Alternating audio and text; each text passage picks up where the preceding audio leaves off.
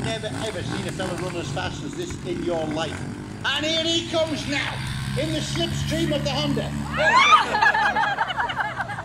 it's gone horribly wrong there.